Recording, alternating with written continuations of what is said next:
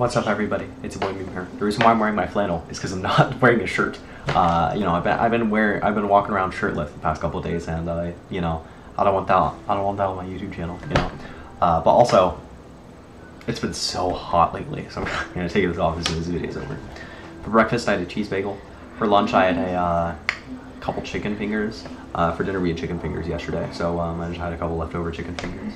And for dinner, um, I had this great um, Italian combo sandwich. Um, I don't know, that's my parents' show. I had this great Italian combo sandwich with uh, no guacamole, replaced with mayo on a wheat on a on wheat bread. Um, also, couldn't tell the difference between wheat bread and like white bread or like a French roll. Um, so I'm just gonna have wheat bread on my sandwiches in the future because apparently it's healthier. Um, yeah, and uh, I had it toasted and it was just so good. It was incredible. And uh, you know, before I left, I, I bought this um this, this chocolate milk that was in the, the grab and go fringe. Um, you know, I have no idea why it was. I well, I, well, I know why it was there, but the thing is, is just that like um.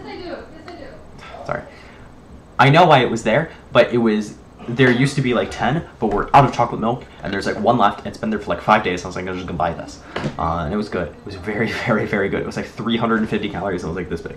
Um, it was crazy. Uh, but it was just so good. I'm so happy I got it, because by the end of the day, I was really tired. It had been my longest shift yet, and uh, you know, tomorrow I have the day off, so I'm very happy about that. Um, yeah. All right. See you, dude. What, am I gonna do anything?